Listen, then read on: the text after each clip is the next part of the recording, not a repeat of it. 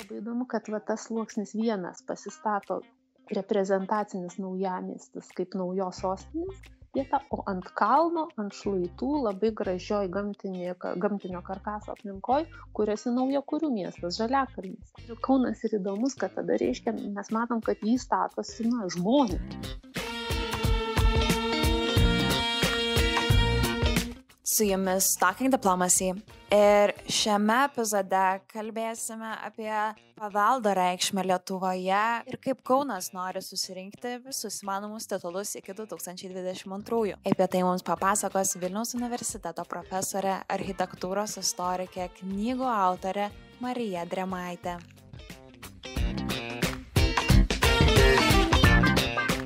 Labadiena Marija. Mano vardas Mykolas. Mano vardas Gabrielė, sveiki. Galbūt galėtumėte trumpai prisistatyti, papasakoti apie save, kaip jūsų kelias atėjo iki buvimo architektūros istorikė. Sveiki. E, na, apie tą kelią turbūt yra galima papasakoti ir labai paprastai ir pakankamai sudėtingai. Profesiją žiūrėjau labiau kaip į saviraišką, ne, ne tai, kad kaip į pragyvenimo priemonę, kad darbas turi būti įdomus užsiemimas, skatinamas labiau pašaukimo. Kas skatino mane domėtis, na, dabar galėčiau įvardyti tai kaip mūsų pastatytąją aplinką. Tai vedė link tokių menotyros, sakykime, studijų. Mane ta profesija nuvedė labiau link paveldo tyrimų ir tai pradėjau dirbti ir Vilniaus universitete, istorijos fakultete, nes 2004 pradėta kurti buvo tokia magistro studijų programa paveldosauga. Tai ir, žinoma, nuvedė link UNESCO. Kaip apibūdintumėt tą būtent lietuviško paveldo ir lietuvių visuomenės tą bendrą gyvenimą ir kaip viena veikia kitą? Na, aš sakyčiau, galima ieškoti labai gilių, giliai šaknų. Sakykime, jeigu mes kultūros istorijoje ir aišku, pamatytume, kad pastarieji du šimtai metų lietuvos istorija buvo ypatingai dramatiški. Taip valdžių kaitos okupacijos turto nacionalizavimas šeimų išdraskymas nuolatinis tos tokios sakykime stabilios tradicinės visuomenės pertraukimas iš išorės veiksnių ir iš vidinių. Pradėkime kalbėti, kad tai nėra vienas posovietinis laikotarpis, tai va pirmiausia po imperinis laikotarpis. Tai vienas etapas yra, kai šitos valstybės, kurios buvo imperijose XIX amžiui, jos neišgyveno, sakykime, tų nacionalinių atgimimų pilnom formom ne mes galim kalbėt apie kažkokius laikraščius apie būrelius apie kažkokias draugijas bet tauta neturi namų vadinkime ane nesistato nacionalinių muziejų nekuria nacionalinių institucijų ir neperduoda šeimoje didikai vieni kitiems nes turtai nacionalizuojami dvarai atimami išdraskomi. Ir vat ką mes turime sakykime kai atsikuria lietuvos valstybė aštuonioliktais metais mes neturime daug paveldėto turto turime suardytą miestų kultūrą. E, bandymas sukurti 40-ais vėl nutraukiamas ir vėl yra išdraskoma privati nusavybė, vėl nėra paveldimo turto. O juk idėjiškai paveldas yra ateina iš šeimos ir giminės tai yra pirmiausia rinkiniai kurie perduodami iš tėvų vaikams kažkokios atmintys daiktams suteikiamos nematerialios vertės ar ne? Tai tokia pat sakykim tabokinė bet tau jinai svarbi todėl kad tavo senelio tabokinė.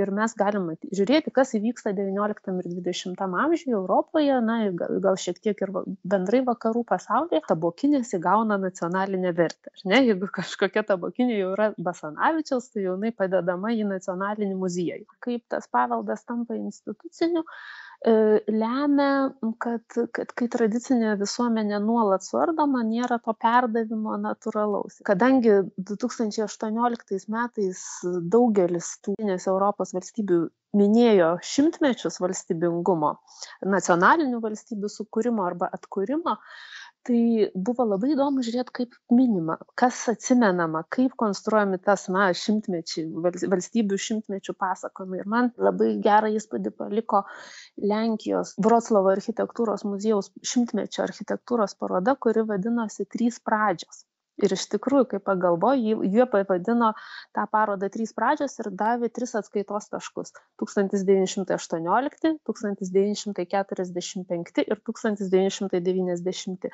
Ir jeigu mes pagalvotume, tai iš tikrųjų kiekvieną kartą, nu, jau netgi per šį pastarąjį šimtmetį reikėjo tris kartus išrasti naują istoriją, naują paveldą, permastyti atmintį, ant ko konstruoti ateitį, kuo remti naują, nu, naujas valstybės sampratas. Ir visam tam reikėjo materialinio paveldo tarsi įtvirtinančio ne tai vat kas įvyko na atsirado kritinis mąstymas kuris bando suvokti kad vat tie pasakojimai yra konstruojami remiantis dabarties poreikiais jeigu kokiais tūkstantis devyni šimtai šešiasdešimtaisiais dar buvo tikima kad tie materialūs atrinkti daiktai paliudija tikrą praeitį bet mes matome kad labai dažnai tie daiktai atrenkami iš praeities pagal dabarties poreikius tam kad pagrįstų tuos pasakojimus kurie reikalingi tuo metu. Norėčiau paklausti, dar šiek tiek jau pradėjome apie tą UNESCO kalbėti, būtent tikriausiai šitą organizaciją, viena be nežinomiausia tikriausiai organizacija pasaulyje, tas santykis Lietuvos ir UNESCO, tas toksai kasdienis, kas savaitinis bendradarbiavimas, kaip jis atrodo, kaip, kuo, kuo jis yra svarbus būtent mums, Lietuvos atžvilgiu. Na, tarp 12 ir 15 metų man teko užimti pareigas Lietuvos nacionalinės UNESCO komisijos generalinės sekretorės. Aš pavadavau išvykusią tuo metu generalinę sekretorę į diplomatinę misiją.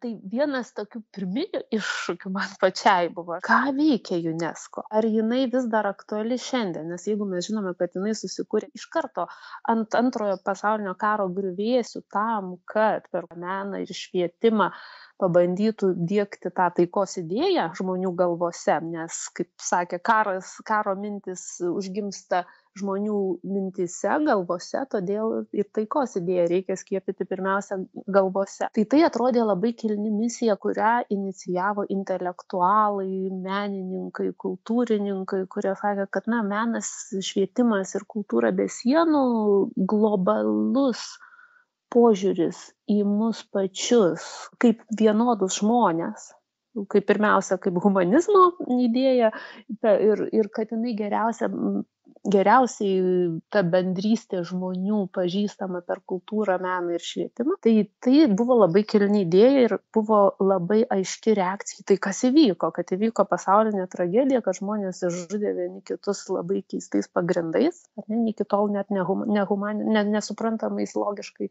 pagrindais ir sugriovė savo pastatytą į pasaulį nepaisant to kad puoselėjo turėjo paveldosaugines institucijas sakė kad e, tam tikrų objektų negalima griauti net jokių konfliktų pagrindu ir tai tai įvyko tai tai pasirodė kad kad tam kažko kažkas neveikia žmonijoje ar ne kad ta tragedija įvyko. Bet aišku du tūkstančiai ten dešimtais ar dvidešimtais metais į ką kokia misija gali būti šitos organizacijos ar ne? Ir mes turim labai labai rimtai paklausti tą klausimą. Pavyzdžiui paveldosauginėje srityje irgi kai buvo sukurta ta konvencija septyniasdešim antrais metais pasaulio paveldo irgi atrodė kad žmonijai reikia diegti idėją kad yra kažkas universalesnio negu siauri sakykime ten regioniniai nacionaliniai interesai ir paveldas gali mums tą parodyti kad nuvažiavę į tadž mahalą pažiūrėt visi suvokia kad tai yra šedevras. Ir kad e, daugelis e, skirtų ir lėšų ir energijos kad tas šedevras išliktų toks koks yra kad visi žmonijos e, gyventojai visi žmonės galėtų tuo grožėtis kada nors. Ir būtent tokie dalykai nuolat reguliariai privertė unesco kaip organizaciją kuri turi tikrai žinias iš viso pasaulio pamatyti kad ne ne visi vakarietiški principai veikia.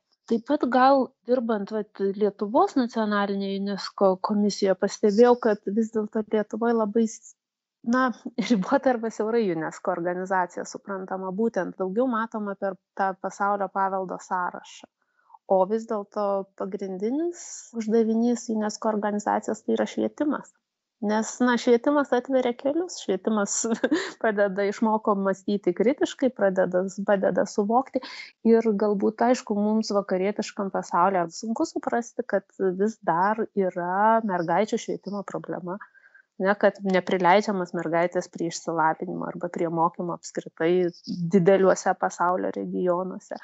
Hybridiniai karai parodė mums, kad konvencijos, kurias pasirašo šalis valstybės neveikia, nes nėra prieš ką jos nukreipti bet e, tos tendencijos e, turi būti suprantamos, reflektuojamos ir man atrodo, kad UNESCO organizacija ir yra ta, kuri nuolat atsinaujina ir reaguoja į aktualijas. Per, kaip galima per kultūrą, švietimą ir mokslą dėkti taikos idėją pasaulyje. Ir iškia vis tiek mes kalbame apie reguliuoti konfliktus taikiomis priemonėmis. Labai įdomi, vat jūsų paskutinė mintis nuskambėjo, kad taikiomis priemonėmis ir švietimu spręsti tas tokias pasaulinius konfliktus ir pasaulinės idėjas. Ar gali Lietuva prisidėti kaip maža šalis, kaip galbūt netokia stipri šalis prie sprendimo. Turėtume mąstyti apie intelektinį potencialą. Ir nebūtinai reikia būti dideliu ne, kad sugalvot arba pasiūlyt gerą idėją. Tai, tai vat, yra atviro mąstymo ir, ir kuo, kuo platesnio mąstymo padarinys.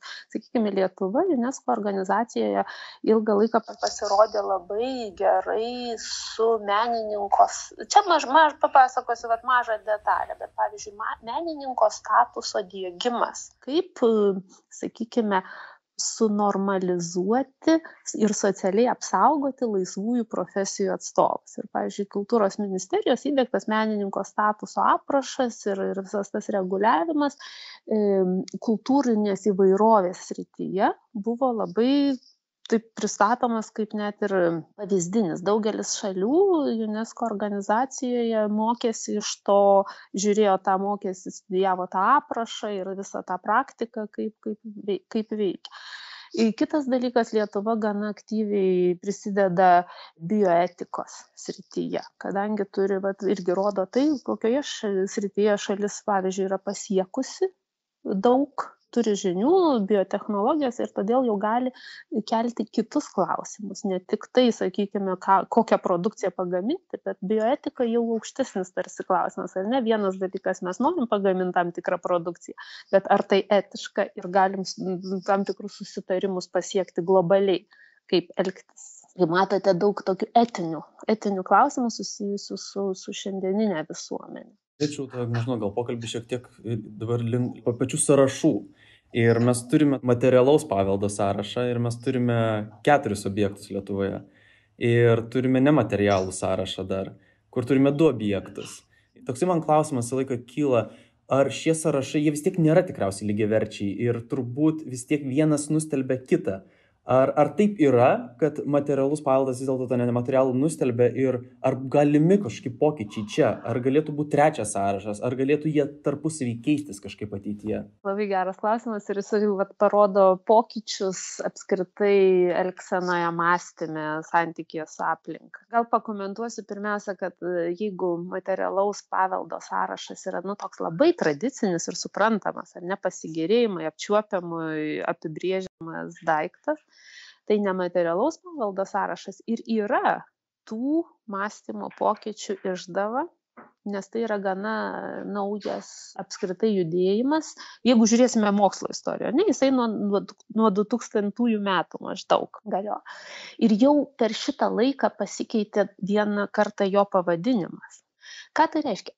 Tai reiškia kad žvelgiama visai į skirtingus e, dalykus saugant vertinant ir interpretuojant. Sakykime materialaus paveldo sąrašas tai yra objektai kuriuos reikia prižiūrėti mokėti restauruoti tai yra ilga techninio restauravimo istorija ir prezentavimas turizmas e, kultūrinis turizmas susijęs su didele industrija ir pajamomis ir šis sąrašas yra įdomus gal net ir kultūrinis reiškinys tuo kad jisai lemia tam tikras šalių varžybas patekti į tą sąrašą nes jis atneša realiai apčiuopiamą pelną. Pavyzdžiui mes žinome kad iš e, tolimųjų rytų masinio turizmo grupės apskritai keliauja tik po unesco pasaulio paveldo objektus nes tai yra tarsi kokybės sąrašas kad ten tikrai jau yra patikrinta tikrai vertinga tikrai yra ką pažiūrėt Dabar nematerialusis paveldas, jisai yra neapčiuopiamas. Dažniausiai tai apibūdinama kaip tradicija, tradicijos išsaugojimas. Ir jeigu, sakykime, materialaus paveldo atveju e, išsaugojama yra taip, sakykime, pastatas buvo statytas kaip rūmai. Dikų šeimą išžudė rūmų iš rūmus išplėšė ką daryt? Pastatas vis tiek gražus stovi. Einama ir matoma kad jisai akivaizdžiai yra gražus. Kažkaip reikia jį panaudoti. Greičiausiai turbūt bus panaudojama muziejui. Tai kažkuria prasme mes galim pasakyt kad pastato funkcija jau pakeista bet jo materija saugoma restauruojama ir demonstruojama ir taip kuriama antra trečia panauda. Su nematerialiu paveldu istorija šiek tiek kitokia sakykime kryždirbystė vat lietuvoj saugoma. Tai yra tradicija. Jinai gyva tol kol yra panauda poreikis tų kryžių statymas e, tauta religinga jinai atsinaujina ir nuolat yra poreikis tų naujų dalykų medituoti perinterpretuoti statyti pakelėse ar kažkur kitur kai tokios tradicijos nebėra ar sakykime visuomenė sekuliarėja ar ne ir ką ir pry kryžiai pradeda iš pakelių persikraustyti į muziejus kažkodėl žmonės ateina iš kitų gyvenamųjų aplinkų sakykim iš šeškinės ateina į muziejų pasižiūrėt hm kodėl čia dabar su surinkta tam tikrų medinių kryžių? O kaip gražu bet o kas kas ką ką tai man tai sako? Ir vat tada yra galvojama kad kas svarbiau ar sukaupti tų kryžių kolekciją ir apie juos papasakoti ar iš išlaikyti tradiciją tų meistrų, kurie juos moka pagaminti. Ir va čia ateina ta rytietiška labiau, va japoniška tradicija, kad saugomas žmogus, saugoma tradicija. Tada kažkokia reikia visai rasti kitų formų, sakykime, subsidijuoti jų gyvenimą, mokėti galbūt jiems stipendiją, kad jie užsimtų tuo, kuo jie moka užsimti, o neužsimtų, nevažiuotų prekiauti kur nors, kad pragyventų kad savo vaikams perduotų arba sukurtų amatų centrą, kad ta tradicija būtų perduodama. O ypač sunku, sakykime, su tokiais dalykais kaip, na, sakykime, dainuojančių šokių ir švenčių tradicija. Irgi yra visų trijų Baltijos šalių. Ne, jinai susijusi su labai gilia tradicija dar XIX amžiaus chorinio, liuteroniško chorinio dainavimo, kas Latvijai ir Estijai svarbiau, bet susijus su tautiniais atgimimais, iš to išsiliejo ir vat, kadangi išliko per šitiek laiko, tai šalis juos netgi saugo įstatymais tai šitie dalykai kaip matote jau yra sudėtingesni bet tai yra reakcija į tai kad mes pasaulis mato kad paveldas yra ne tik materialus ne tik daiktas bet yra ir idėjos tradicijos ir atsiranda tokių vat dalykų o kaip tą tradiciją išsaugoti jeigu jinai natūraliai miršta. Ar galima ją dirbtinai palaikyt o gal kažkaip sukurti natūralų būvį kad jinai išsilaikytų. Tai man atrodo vienas iš tokių originalesnių globaliai dalykų ir buvo va tas nematerialaus paveldo viešinimas ir būdų, metodų jam išsaugoti sukūrimas. Tai čia tikrai atėjo iš, iš UNESCO tradicijos. Labai įdomu, kaip iš viso vyksta tas objekto arba reiškinio įtraukimas į tą sąrašą. Koks tai yra procesas ir jūs dabar ypatingai glaudžiai esate susijusi su tuo proceso perėjimu. Tai gal galite plačiau apie jį papasakoti? O jau procesas, kaip patekti į sąrašą, tai čia jau yra grinoji politika. Politika, kultūrinė diplomatija. Kadangi sąrašas vis dar prestižinis, nepaisant to, kad intelektualai gana jį ir kritikuoja, tą pasaulio paveldo sąrašą, jau mes kalbam apie materialųjį bet šalys vis tiek laiko prestižu ir tikslu į jį patekti. Todėl yra visas kelias kaip į jį patekti. Žodžiu į į sąrašą gali pretenduoti šalys narės kurių dabar yra beveik du šimtai unesco organizacijoje. Ir tam tikslui konvencijai įgyvendinti yra įkurtas pasaulio paveldo centras kuris administruoja tą dalyką. Ir pasaulio paveldo centras kartą per metus skelbia paraiškų priėmimą. Tai yra tokia griežtai sudėliota paraiškos forma, kurią šalis turi užpildyti ir parengti. Ir paraiška yra teikiama valstybės lygmenių, tai jau yra, žodžiu, pačios valstybės apsisprendimas e, dalyvauti šiuose varžybose, sakykime. Šiuo metu, kai pasaulio paveldo sąraše jau yra virš tūkstančio vertybių, tas procesas kai, skaito, skaitomas, na, 6-8 metai, tai yra va, toksai, na, įprastas. Ir dabar tai susijęs su kuo? Tai reiškia, kad vienas dalykas kad objektas jau turi būti saugomas ir pripažintas nacionaliniu lygmeniu tai nėra tai kad unesco padės pripažinti tai yra visiškai turi būt šalis turi įrodyti ir pagrįsti kad jinai yra visiškai sąmoninga ir atsakinga už tą objektą ir įsipareigoja jį išsaugoti nacionaliniu lygmeniu tokiu būdu jis išliks ir pasauliui.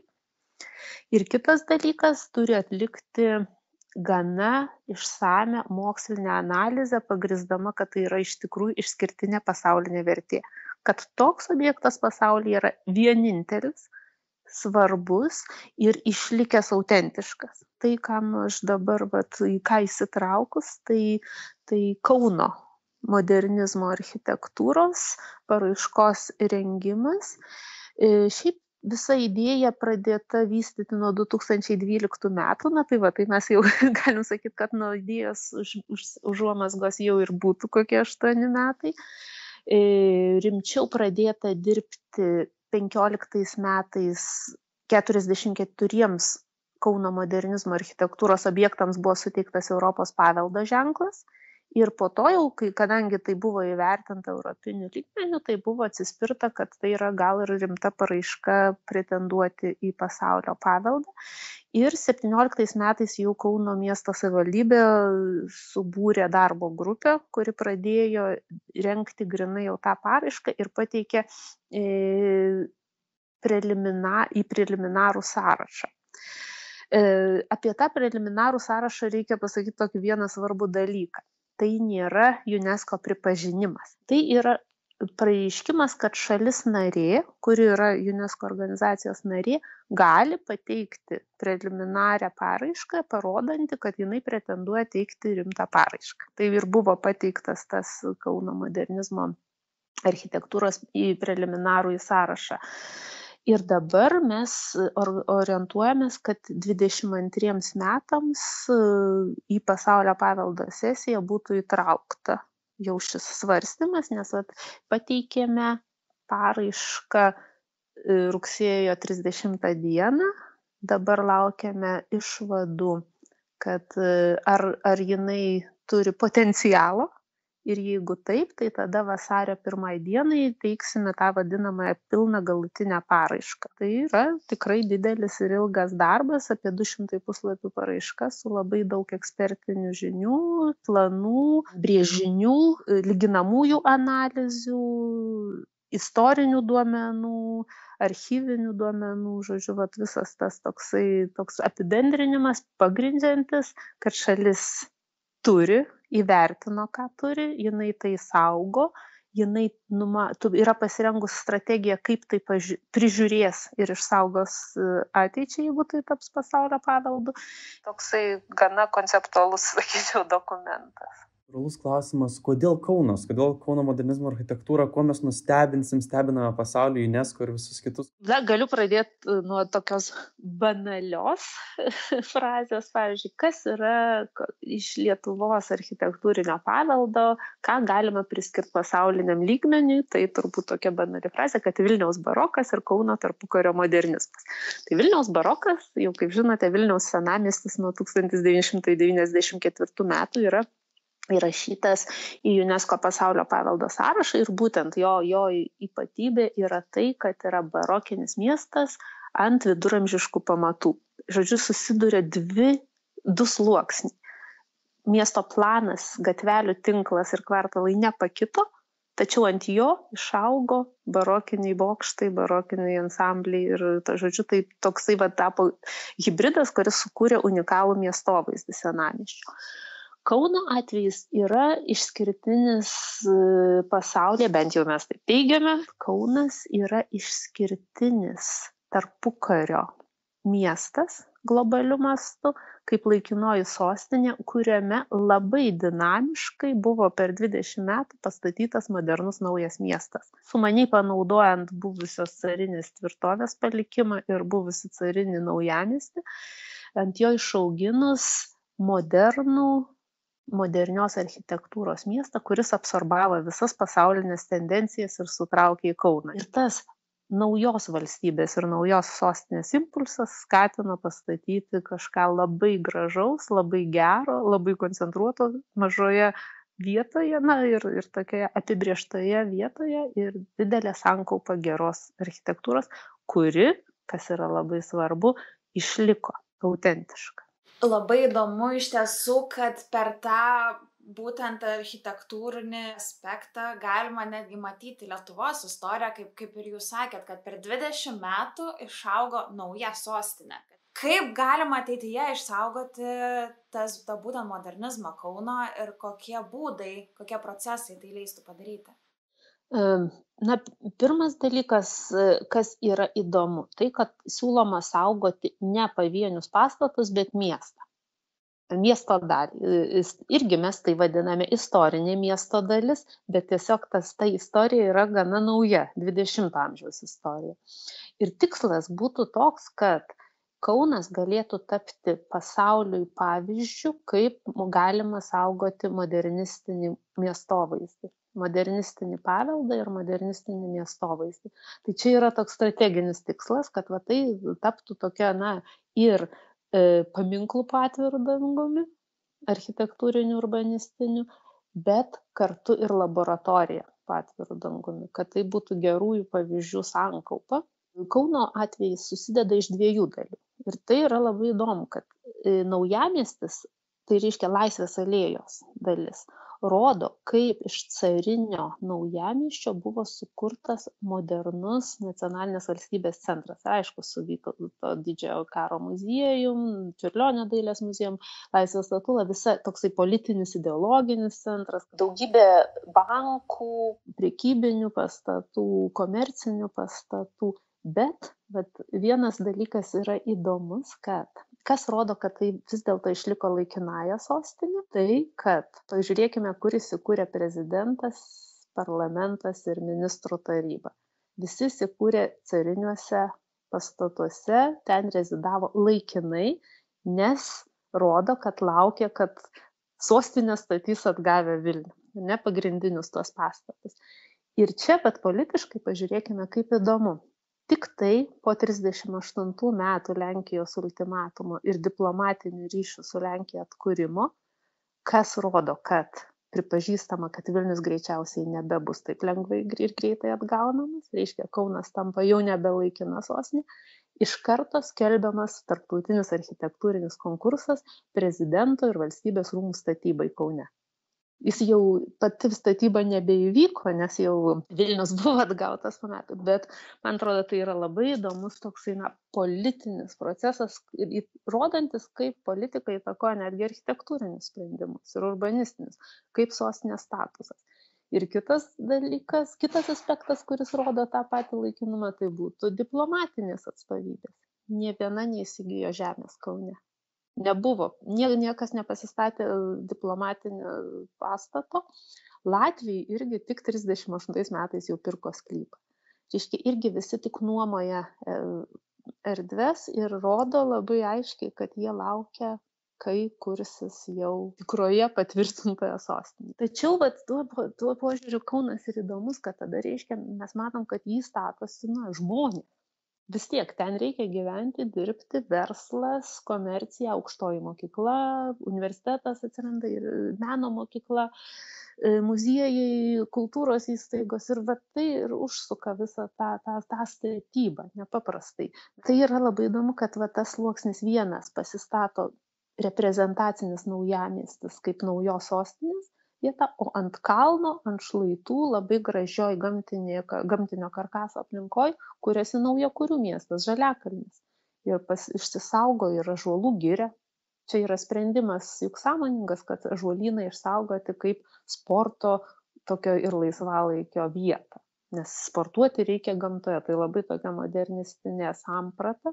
Statosi ten sporto halę sporto rūmus ir visus tokius specialiai tam jau sukurtus naujus pastatus. Ir daugybė sodybinio užstatymo tų privačių namų. Ir ten matome visą spektrą modernistinių vilų įvairaus stiliaus įvairių pajamų taip pat tam pramaišiui labai įdomu socialiniu požiūriu kad yra statomi ir mediniai keturbučiai aštuonbučiai šešiolikabučiai tokie vat sakytume šiuo metu kaip na labiau gal nuomojamo būsto tokie namai šalia tų vilų.